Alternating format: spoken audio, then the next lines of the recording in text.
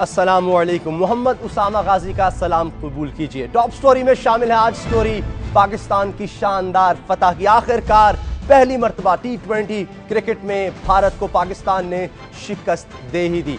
एक top story Karachi से भी शामिल करेंगे। दूसरे रोज भी जारी है वहाँ पर टारगेट किलिंग। कुल कल तेरह और आज अठारह लोग मौत के बेनाम सुदागरों की ख्वाहिश की भींट चढ़ गए।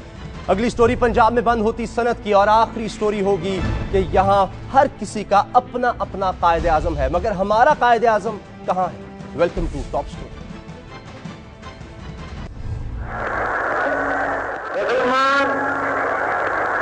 मुसीबत में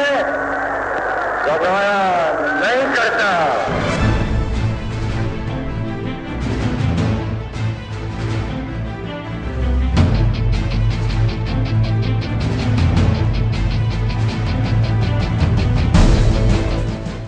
पहले पाकिस्तान की शानदार जीत पर आप सबको बहुत बहुत मुबारकबाद। मैदान जंग का हो या फिर खेल का, दुनिया की सारी तवज्जो उस वक्त उस मैदान की तरफ़ मबजूल हो जाया करती है, जिस मैदान में पाक भारत आमने सामने खड़े हों। वो चाहे फौज की शक्ल में या फिर खिलाड़ियों की शक्ल में हो।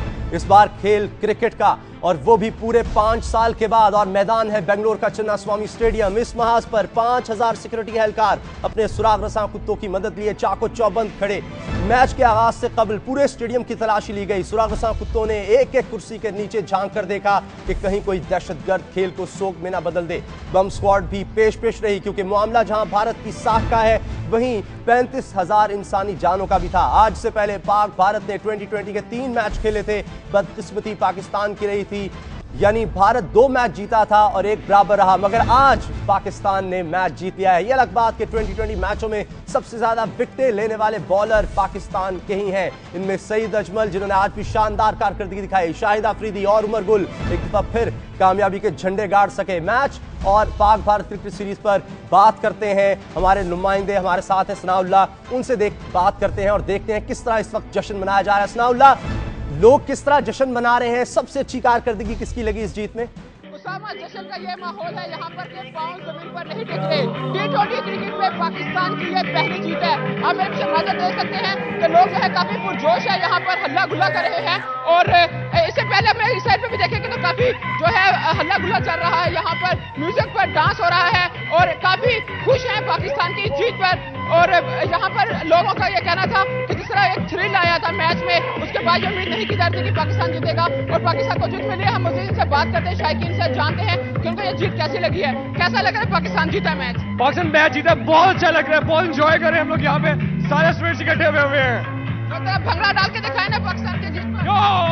ये! शायकीन का यहाँ पर जोश है पाकिस्तान की जीत पर हम मजीद शायकीन से भी बात करेंगे और जानेंगे उनसे भी कि कैसा लग रहा है। आप बताएँ कैसा कैसा लग रहा है पाकिस्तान की हमें बहुत अच्छा लग रहा है बाकी कुछ हो ना हो बाल ठाकरे की आत्मा को ज़रूर शांति मिली होगी इससे।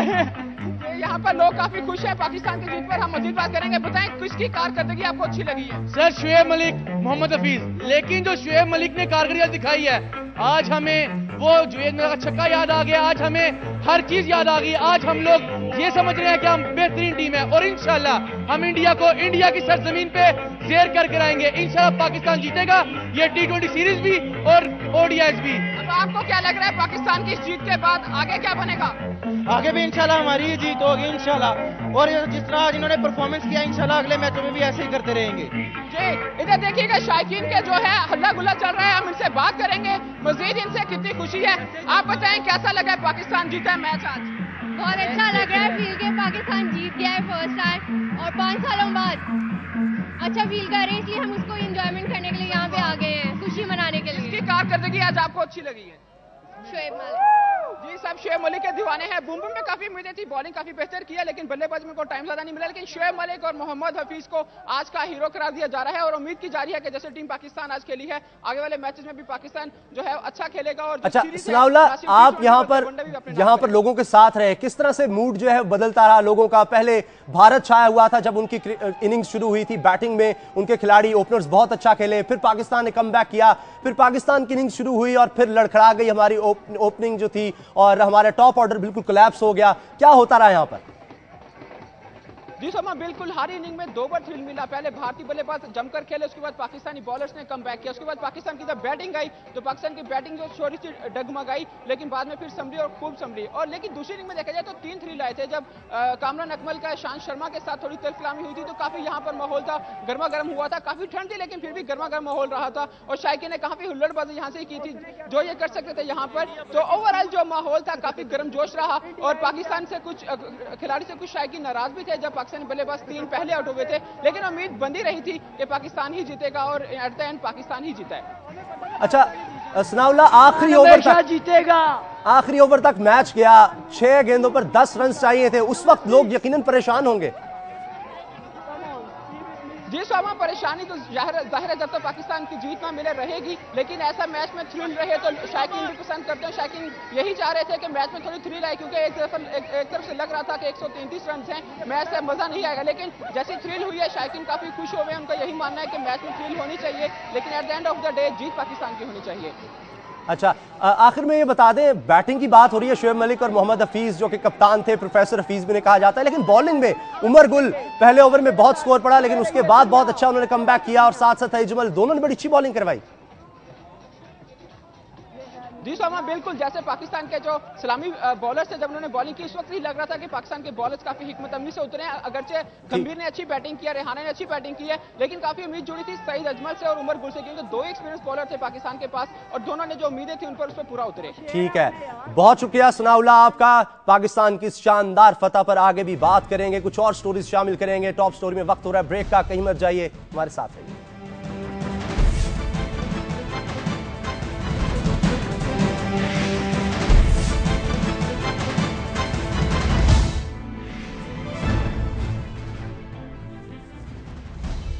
अभी चलते हैं अपनी दूसरी स्टोरी की तरफ़। स्टोरी कराची की है और कोई नई भी नहीं। कराची में कल दो भाइयों समेत तेरह अफराद मौत के घाट उतार दिए गए। क्यों मार दिए गए? वजह किसी को भी मालूम नहीं। शायद न मरने वालों को और ना ही मारने वालों को। आज राशिद मिनास रोड पर मोती महल के करीब अहले सुन्नत वल जमात के मरकजी सेक्रेटरी इतलात की गाड़ी पर फायरिंग कर दी गई। नतीजा, मौलाना औरंगज़ेब फारूकी समेत छह अफराद के जख्मी और छह अफराद के कत्ल हो जाने की शक्ल में निकला।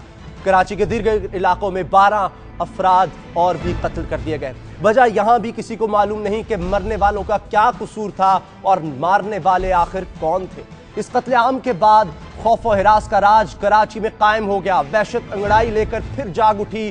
तीन गाड़ियाँ नज़र आतिश कर दी गई। जगह जगह एहतजाज शुरू हो गया। दुकानें बंद करवा दी गई। ट्रांसपोर्टर्स ने कल पहिया जाम करने का ऐलान कर दिया है। जबकि जमात अहले सुन्नत जमात ने कल हड़ताल की कॉल भी दे दी है। गोया टारगेट किलिंग का स्विच फिर किसी ने ऑन कर दिया है। आज का वाक़ बता रहा है कि कराची में कत्ल गारत को हर रोज कोई नया बहाना दरकार होता है। कभी सियासी इख्तलाफ का बहाना और दो तरफा बल्कि सह तरफा लाशों के अंबार, कभी कब्जे का झगड़ा और गैंग्स की बाहमी लड़ाई।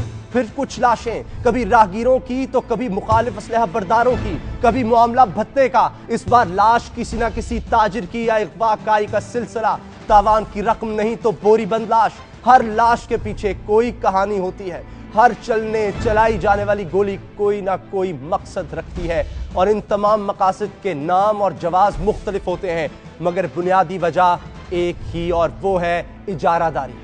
इजारादारियों के चलन के इस माहौल में फैलने वाली बदमनी ने हर किसी को किसी न किसी छतरी के नीचे पनाह लेने के लिए मजबूर कर दिया है। कोई किसी सियासी जमात का विंग बन गया तो किसी ने मुसल्ला विंग की पनाह ले ली। हर कोई कराची में किसी न किसी की पनाह की तलाश में, क्योंकि रियासत ने अपने शहरियों को पनाह देने से मुँह मोड़ लिया है।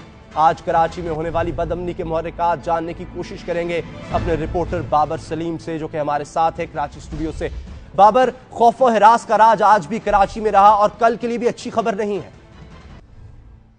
उसामा, बहुत ज़्यादा फिक्रमंद, बहुत ज़्यादा तशवीशनाक सूरत हाल है। इस वक्त कराची में जो कुछ सारा दिन हम विटनेस करते रहे हैं, अगर उस पर नज़र दौड़ाई जाए तो आम आदमी की सिक्योरिटी के लिए सड़क पर, शाहराहों पर, बाज़ारों में इनफैक्ट वो गलियाँ जो कि अंदरून इलाके कहलाती हैं, रिहायशी इलाके हैं, वहाँ भी कोई मौजूद नहीं था। टारगेट किलर्स जिस आसानी के साथ कराची की सड़कों पर दंदनाते फिरते हैं, जिस आसानी के साथ अहम सियासी मजहबी शख्सियात को निशाना बनाते हैं, उससे ये बहुत आसानी से समझा जा सकता है कि कराची में कानून नाफिज करने वाले इदारों की थ्रेट मुकम्मल तौर पर खत्म हो चुकी है। दो बड़े अंसर हैं इस वक्त कराची में। दो बड़े चैलेंजेस मैं कहूँ कि शायद कानून नाफिज करने वाले इदारे इस वक्त फेस कर रहे हैं। एक है बेलगाम टारगेट किलर्स, जो दिन दहाड़े रात गए जब चाहें, जहाँ चाहें, जिसको चाहें बासानी निशाना बनाते हैं। दूसरा जो बढ़ता हुआ कलदम तंजीमों का असर रसूख है कराची में यह एक बड़ा चैलेंज बनकर सामने आ रहा है। कराची के मजाफाती इलाकों में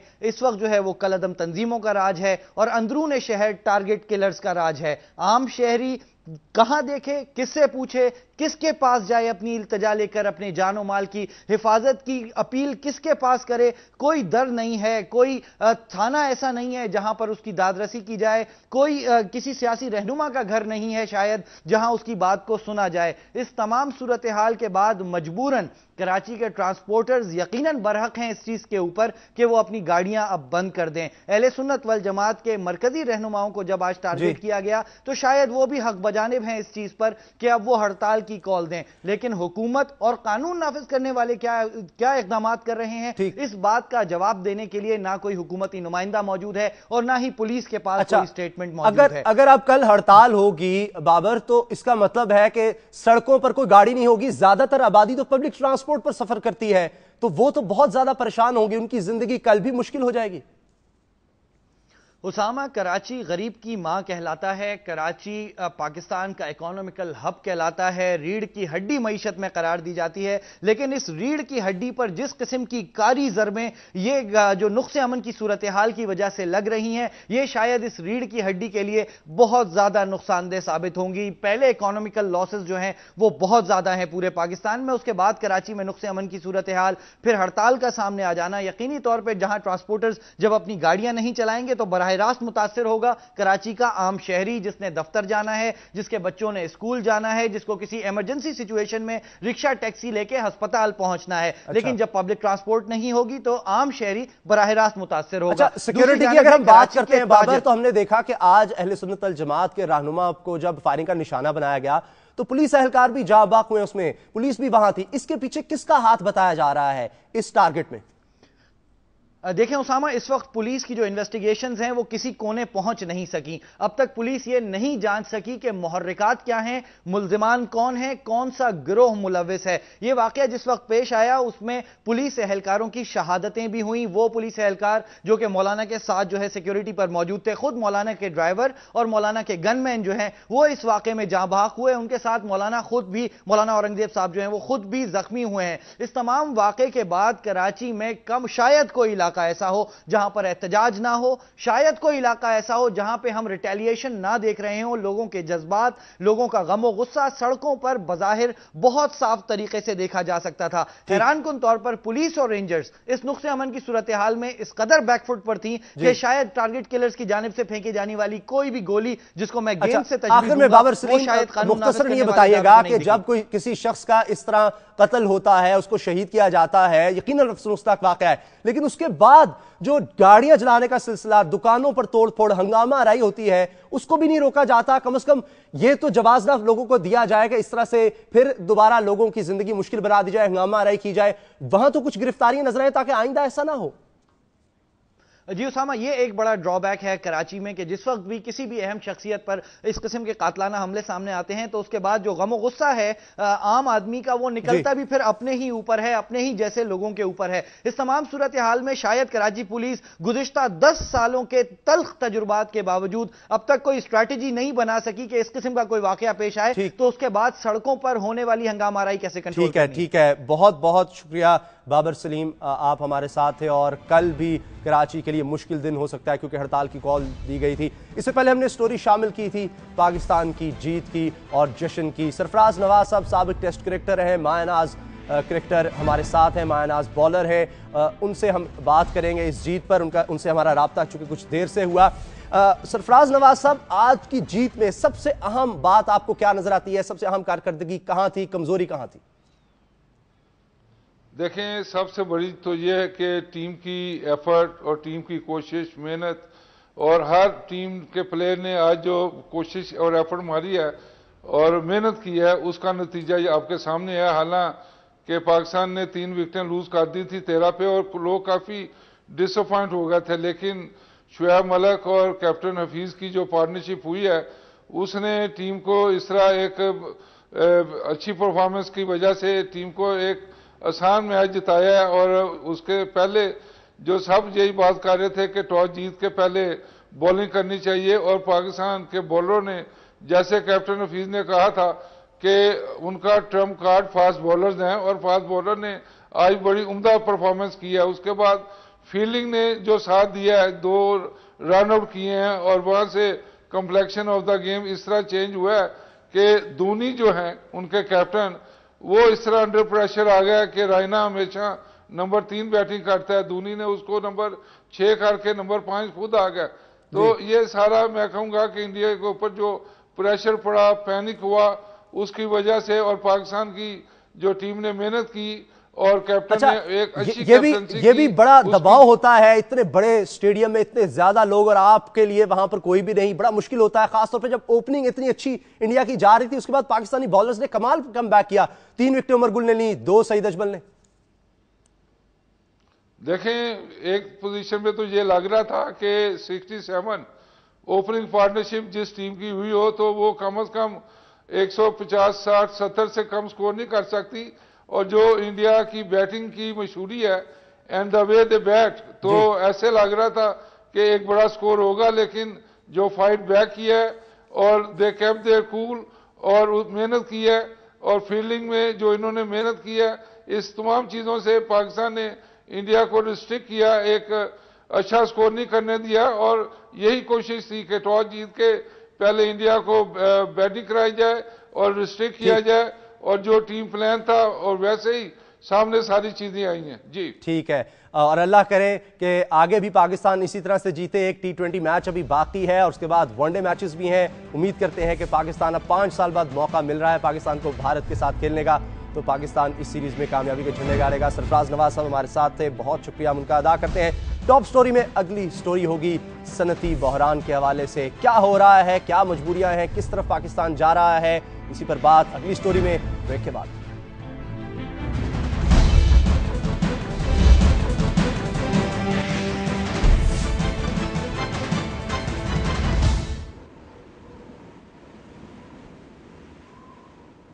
वेलकम बैक टॉप स्टोरी में हम बात कर रहे थे पाकिस्तान की शानदार फतह की, शानदार जीत की। सरफराज नवाज़ साहब, सबक टेस्ट क्रिकेटर मायनाज बॉलर हमारे साथ हैं।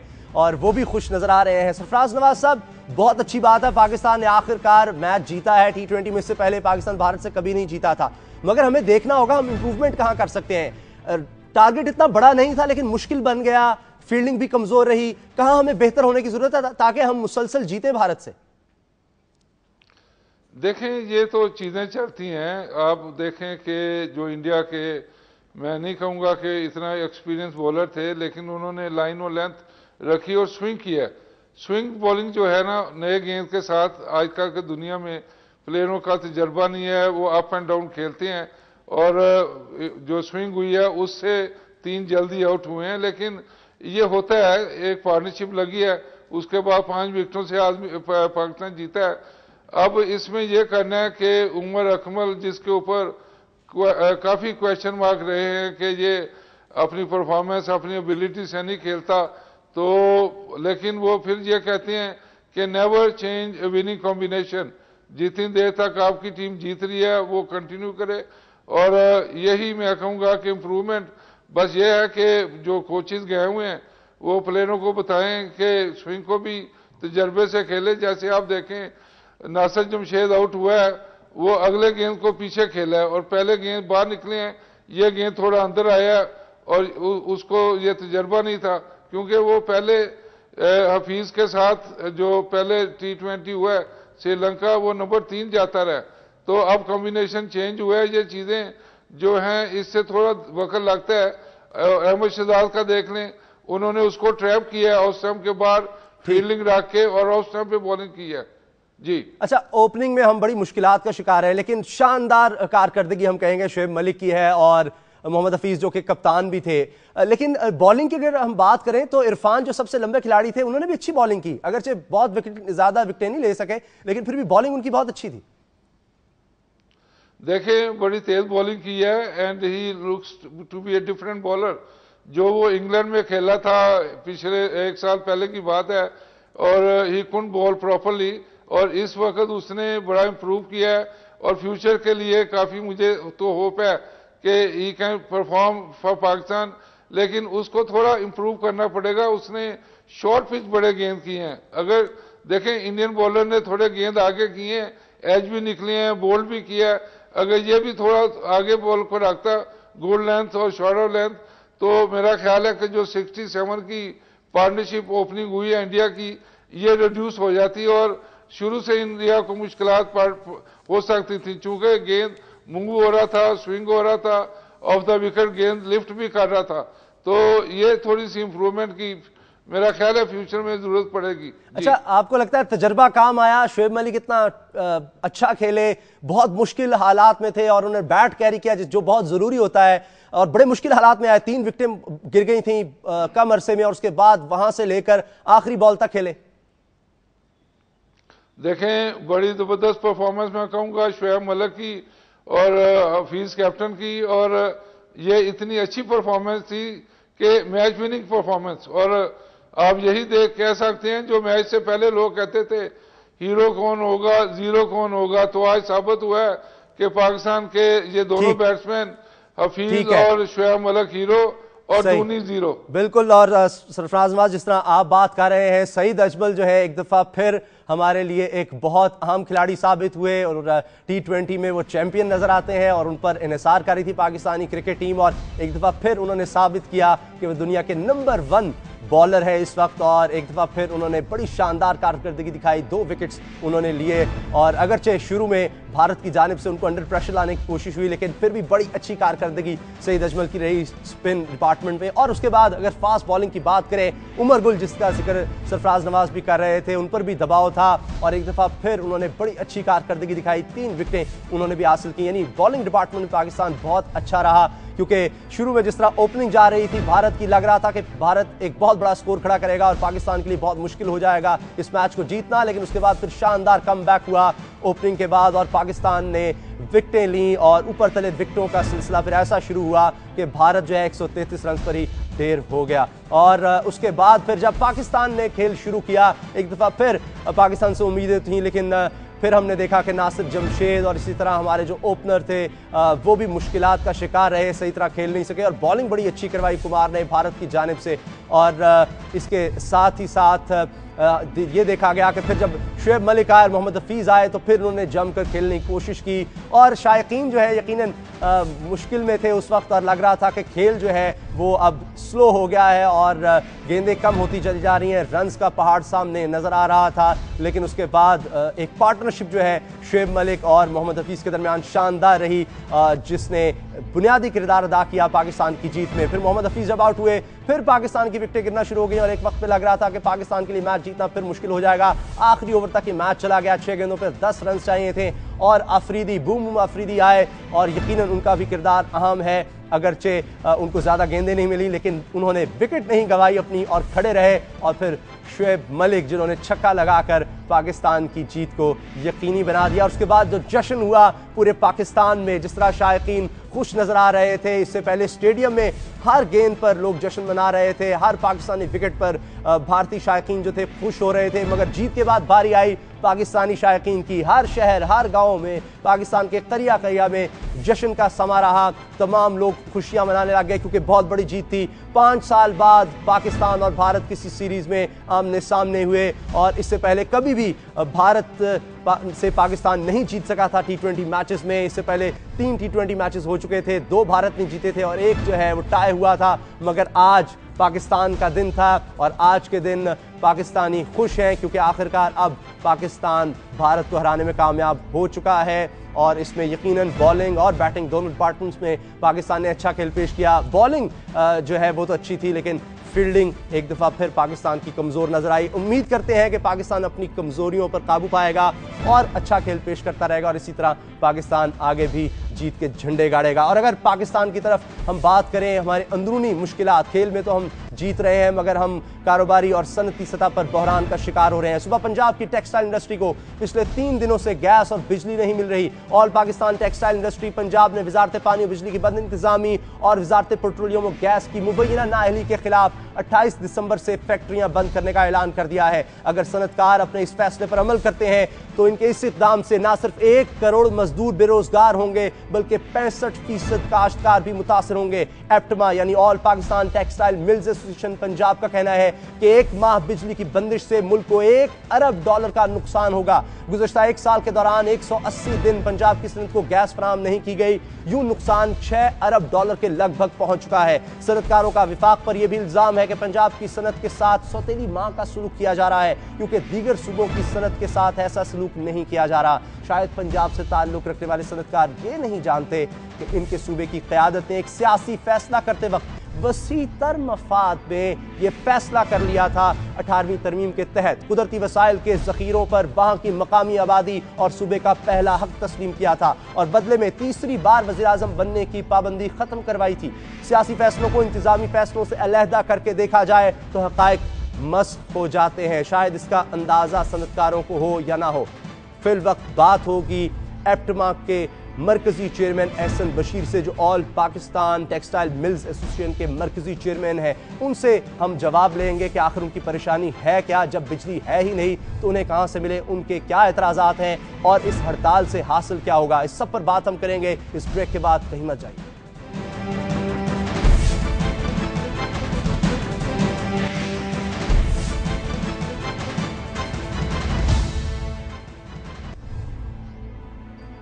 सनती बहरान है। 28 दिसंबर से APTMA all Pakistan textile mills association ने हड़ताल का ऐलान कर दिया है। इससे बहुत ज़्यादा नुकसान होगा। हमारे साथ इस वक्त टॉप स्टोरी के मेहमान स्टूडियो में मौजूद हैं। मर्ज की चेयरमैन है एप्टमा के एहसन बशीर साहब। एहसन साहब, बहुत शुक्रिया आपकी तशरीफ़ आवरी का। आप लोग कह रहे हैं कि पंजाब से सुतेली माँ का सलूक किया जा रहा है। आपको क्यों ऐसा लगता है? थैंक यू सामा साहब। मेरे ख्याल में आज बहुत अच्छा माहौल है। हमने क्रिकेट का मैच देखा है। और जीता है माशाल्लाह बड़े अच्छे तरीके से। तो अच्छा अच्छा माहौल नहीं है ये बात करने का मगर मजबूरी और सिचुएशन ऐसी बन चुकी है कि हमें इस इशू को इतने सीरियस लेवल पे आपके साथ रेज़ करना पड़ा। तो सुतेली माँ के बारे में मैं सबसे पहले आपको ये बताऊँ कि मैं पाकिस्तान की पूरी टेक्सटाइल एसोसिएशन को रिप्रेजेंट करता हूँ पूरे पाकिस्तान के एप्टमा का चेयरमैन हूँ सो मैं किसी एक सूबे को नहीं रिप्रेजेंट कर रहा। मगर मैं समझता हूँ कि जहाँ गैस चल रही है जहाँ बिजली चल रही है जहाँ इंडस्ट्री चल रही है वो बहुत अच्छी बात है। लेकिन हमारी जो पंजाब जो सबसे बड़ा फॉरेन एक्सचेंज अंडर है, जो सबसे बड़ा एम्प्लॉयमेंट जनरेटर है, जो सबसे बड़ा हब है टेक्सटाइल्स का पूरे पाकिस्तान का 14 अरब डॉलर की इस मुल्क से टेक्सटाइल की एक्सपोर्ट होती हैं। 25 अरब डॉलर में से 14 अरब डॉलर 55 फ़ीसद ऑफ़ पाकिस्तान की एक्सपोर्ट अर्निंग सेक्टर का 75 फ़ीसद पंजाब में है। और इसी प्रोविंस को गैस भी नहीं दी जा रही। अब जो नया धमाका हमारे ऊपर गिरा है कि बिजली भी कंप्लीटली बंद कर दी गई है। आप मुझे बताएँ तो सुतेली माँ का सलूक ना कहा जाए तो क्या कहा जाए? लेकिन अब नरगिस सेठी साहिबा जो कि सेक्रेटरी इस वक्त हैं पानी और बिजली, वो कहती हैं कि मैं 16-16 घंटे लोड शेडिंग आवाम के लिए नहीं कर सकती। अब नया असूल होगा 30 फ़ीसद बिजली पर सनत चल रही है 70 फ़ीसद गैस पर। अब सर्दी है, गैस कम है सनतकार भुगते हैं, हम कुछ नहीं कर सकते अवाम को हम तंग नहीं करेंगे। सर जी, मुझे ये बताएँ कि 30 फ़ीसद जो बिजली पे चल रही है और जो 70 फ़ीसद गैस पे चल रही है, वो गैस की सनत ने ऑल्टरनेट जिस वक्त सब पूरे पाकिस्तान को तीन साल से पता है कि सर्दियों में पंजाब में गैस कट जाती है, हमने सारी की सारी गैस तो सीएनजी में बांट दी है। तो पीछे गैस तो है नहीं। इस टाइम पे हम अंडरस्टैंड करते हैं, ना हमें गैस के पीछे भागना चाहिए, ना हमें गैस के पीछे जाके अपना वक्त ज़ाया करना चाहिए। जब गैस नहीं है तो वो इन सनत पिछले सालों में बंद तो नहीं होती रही। जब गैस नहीं है तो वो सनत बिजली पे चलती है। आज तक तो पाकिस्तान की बिजली भी नहीं ना हमारे पास। मैं आपको बता नहीं अब उसका मुतबादल हमारे पास क्या है? सर मुतबादल आपको अगर बिजली देंगे तो पूरे पाकिस्तान में लोड शेडिंग हो जाएगी। सर जी पैंसठ साल से पाकिस्तान फॉर्म में है। आज पैंसठ साल के बाद दुनिया कहाँ पहुँच गई हम यहाँ पहुँचे और हम ये बोल रहे हैं कि हमारे पास बिजली नहीं है देने के लिए अपने सनतकारों को। पिछले साल कहाँ से बिजली आई थी? लास्ट ईयर कहते हैं घरेलू सारिफीन को हमने लोड सर मेरे पास और आपको सनत को सर जी सर जी दस हज़ार मेगावाट की पिछले साल दिसंबर में जनरेशन थी। क्यों 7,800 मेगावाट की इस वक्त जनरेशन हो रही है? 14,000 मेगावाट की इस वक्त पाकिस्तान के पास एबिलिटी है पावर जनरेट करने की। हम क्या कर रहे हैं कि बिजली के पैसे नहीं है आप रिकवरी नहीं कर सकते फ्यूल की अपनी मिस मैनेजमेंट्स नहीं कर सकते अपने लाइन लॉसेज नहीं खत्म कर सकते तो उसका क्या मतलब है? आपने सारी इंडस्ट्री को क्लोज करते जाएँगे। एक अरब डॉलर का आप बता रहे हैं कि नुकसान होगा। सर जो आप एक करोड़ मजदूर जो है वो बेरोजगार हो जाएँगे। यानी पैंसठ फ़ीसद हमारे काश्तकार इससे वाबस्ता है इस सनत से वाबस्ता है। तो हड़ताल से तो और नुकसान होगा। आप कह रहे अठाईस दिसंबर को हम सब कुछ बंद कर देंगे सर जी सब कुछ बंद है। आप बात मेरी समझने की कोशिश करें इस वक्त पंजाब की सनत को गैस की कंप्लीट फरामी डिस्कनेक्टेड है पिछले पंद्रह दिन से। बिजली चार दिन पहले हमें बताया गया विदाउट एनी वार्निंग कि कंप्लीटली पूरी पंजाब की टेक्सटाइल इंडस्ट्री को बिजली मुनकता कर दी गई है। और हमें यह बताया गया है कि एक महीने के लिए आपको बिजली नहीं मिलेगी। आप मुझे बताएँ कौन सा दुनिया का ऐसा मुल्क है कौन सी दुनिया की ऐसी गवर्नमेंट है, कौन सा दुनिया का ऐसा सिस्टम है जो इंडस्ट्री को कहा जा रहा है कि माजरत करते हैं, हमारे पास आपके लिए कुछ नहीं है, आप हमारे लिए इंपॉर्टेंट नहीं है हमने इस वक्त जहाँ बिजली की इतनी ज़रूरत नहीं है मौसम बेहतर है हमने उन डोमेस्टिक घरों को बिजली देनी है। वो डोमेस्टिक बड़े बड़े प्लांट लग जाते हैं आप ज़ाहिर आप लोगों ने इंडस्ट्री लगाई हुई इतना पैसा तो लोग सोचते हैं होगा आपके पास। सर जी पहले को कम से कम रोटी मिले आप किसी ना किसी इंडस्ट्री सर वो मजदूर को रोटी कैसे मिले? सर जिस मजदूर जो इंडस्ट्री बंद है सर पहले हमने फर्नस ऑयल के प्लांट लगाए फिर हमने गैस के प्लांट लगाए साथ हमने बिजली के कनेक्शन लिए साथ डीजल रखा। आज पूरी इंडस्ट्री क्या तीस रुपए की बिजली की यूनिट की डीजल पे चले? सब लोगों के पास डीजल है? इस तरह इंडस्ट्रीज़ नहीं चलती सर हल क्या हम बिजली हल क्या है? हमारा क्या समझते हमारा बिज़नेस किससे आप मिले? किसी से आपने मुलाकात की? सर हमारा बिज़नेस तक पहुँचे? हल कोई तजवीज दी आप सर हमारा बिज़नेस हमारा काम टेक्सटाइल बिज़नेस अपना चलाना है। हमारा काम पाँच छह सोर्सेज ऑफ़ पावर रख के उनके बारे में वरी करना और उनके डीजल और फ्यूल अरेंज करना नहीं है। ये हुकूमत का काम है। मैं तो आपसे ये सवाल पूछता हूँ हुकूमत से ये सवाल पूछता हूँ कि सात हज़ार आठ सौ मेगावाट की दिसंबर में पाकिस्तान की हिस्ट्री में कभी बिजली जनरेट हुई है? चौदह हज़ार मेगावाट की पावर जनरेशन करने की कैपेसिटी है। इंडस्ट्री को इस वक्त 1500 मेगावाट पावर की ज़रूरत है और हम कह रहे हैं कि डोमेस्टिक को देनी है, हमारे पास पावर नहीं है देने को। हमें यह जवाब मिला है, आप सोच सकते हैं, जब हमने इंटरेक्ट किया कल, हमें यह जवाब मिला है, कौन सी इसमें बड़ी बात है? अगर एक महीने के लिए आपको बिजली नहीं मिलेगी, आप इंडस्ट्री बंद कर लेंगे, इसमें कौन सी बड़ी बात है? सबर कर लें एक महीने के लिए।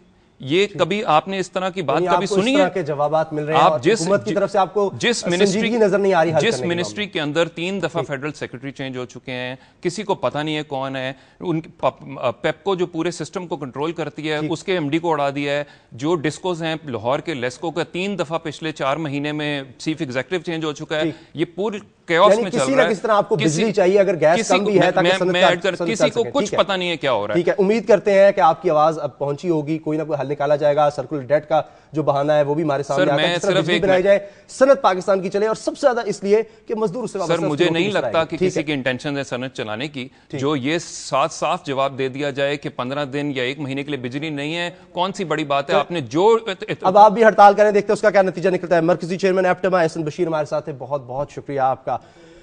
मसीहा की तलाश है पाकिस्तान के मसाइल के हल के लिए। 1930 में एक शख्स हिंदुस्तान से अपना बोरिया बिस्तर लपेट कर लंदन मुंतकिल हो जाता है और फैसला करता है कि इसने ज़िंदगी में जो करना था वो कर लिया है। अब वो लंदन में अपनी बाकी की ज़िंदगी अपनी बेटी के साथ जिएगा। उधर लाहौर के रेलवे स्टेशन के करीब एक शख्स जिसको एक आँख की बिनाई कम पड़ चुकी है वो अपनी गुलाम कौम को आज़ादी का नुस्खा बताता है और इस पर अमल करने के लिए एक शख्स का पता देता है। वो कहता है कि अगर आज़ादी लेने का ख्वाब पूरा करना है तो लंदन में बैठे उस शरीर बदन वाले वकील को यहाँ ले आओ। गुलामों का एक गिरोह लंदन जाता है, उसके दरवाजे पर दस्तक देता है। अल्लामा मोहम्मद इकबाल रहमत का ख्वाब उसे सुनाता है। बूढ़ेड़ उम्र वकील, जिसका नाम मोहम्मद अली जिना रहमत है, उठता है, बेटी का हाथ पकड़ता है और वापस हिंदुस्तान आता है। अपनी उम्र के आखिरी हिस्से में सिर्फ़ सत्रह साल के अंदर अंदर गुलामों को एक आज़ाद ममलिकत कायम कर देता है। मोहम्मद अली जिनाह की सूरत में कुदरत ने हमें एक बुलंद पाया, क्यादत अदा की थी, जिसने बैक वक्त किसी कौम की सोच का धारा भी बदला और दुनिया का नक्शा भी। हम बानिय पाकिस्तान के नक्शे कदम और सियासी बसीरत पर चलने की बजाय इस बहस में पड़े हुए हैं कि कायद सेकुलर थे या इस्लाम पसंद। हर किसी के पास अपने अपने दलाइल हैं बाई तरफ़ वाले दानिश्वर कहते हैं कि कायद आज़म ऐसा नहीं, वैसा पाकिस्तान चाहते थे। इस्लाम पसंद कहते हैं कि अगर कायद आज़म सेकुलर पाकिस्तान के कहाँ थे तो फिर क्या हमारे बुज़ुर्गों ने उनके पीछे चलकर गोया कोई गलती की है? जिन्होंने वोट पाकिस्तान के लिए सिर्फ़ इसलिए डाला था कि इसके पीछे अल्लाह सुबहान और इसके रसूल सल्लल्लाहु अलैहि वसल्लम का नाम था।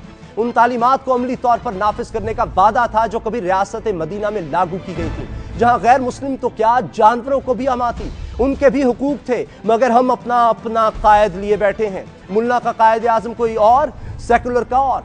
इस तेर मेर में आम पाकिस्तानी का कायद आज़म कहीं खो गया है। शायद कहीं दरसी कुतब में? हर 25 दिसंबर और 11 सितंबर को चलने वाली दस्तावेजी फ़िल्मों में या फिर करेंसी के नोटों में। आम आदमी का कायद आज़म वो है जिसके अपने घर में लिफ्ट थी मगर दफ्तर में लगवाने से मना कर दिया। जिसने सारी ज़िंदगी अपने सिगार और दीगर तंबाकू नोशी अपनी जेब से की। जिसने सरकारी इजलासों में शिरकत करने वाले सरकारी अहदेदारों और वजीरों को कह दिया था कि सरकारी पैसे की एक कौड़ी भी उन पर खर्च नहीं की जाएगी। अपने घरों से चाय, कॉफ़ी पीकर आया करो। आम आदमी का कायद आज़म वो था जो फौज को सरहदों पर देखना चाहता था, जो अफसरों को उनकी हदूद में और सियासतदानों को ईमान के दायरे में आवाम की खिदमत करते देखने की ख्वाहिश रखता था। आम आदमी को अपने उसी कायद आज़म की बसीरत और किरदार वाला कोई कायद सानी चाहिए, जो इस कौम को कोई बलबला ताज़ा दे, जो रूह में उतरे, उसे झिंझोड़े और जगा दे, जो मतरूक हुई ईमानदारी को रियासत के किरदार में फिर से ले आए। जिसके किरदार के दबदबे से किसी को अपनी हदूद से निकलने की ज़रूरत ना हो। कोई कौम को जमहूरियत सिखाने आए ना इस्लाम नाफिज करने और ना एहतसाब की माला जपने। कोई तो हो जो कायद आज़म की तरह गुर्बत, जिल्लत और बदबनी की दलदल से निकाले। ये दौर अपने बराहीन की तलाश में है। सनम कदा है जहाँ ला इलाहा इल्लल्लाह। मुसीबत में घबराया नहीं करता। यूँ हमें आज़ादी के दुनिया हुई है कायद आज़म, तेरा एहसान है एहसान। हर दिन पे मुसलमानों पे छाई थी तबाही। मुल्क अपना था और गैरों के हाथों थी शाही। ऐसे में उठा दीन मोहम्मद का सिपाही और नाराय तकबीर से दी तूने गवाही। इस्लाम का झंडा लिए आया सर मैदान। है कायद आज़म, तेरा एहसान है एहसान।